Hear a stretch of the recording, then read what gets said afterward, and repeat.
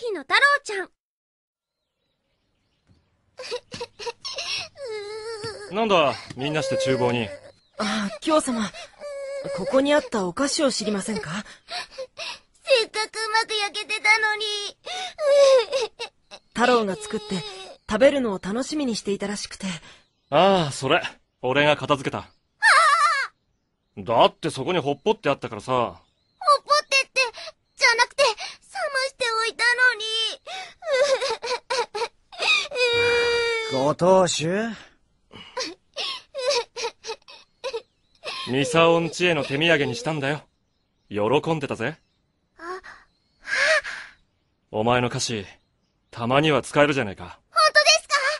はい、もっと精進します調子に乗んな。じゃあな。は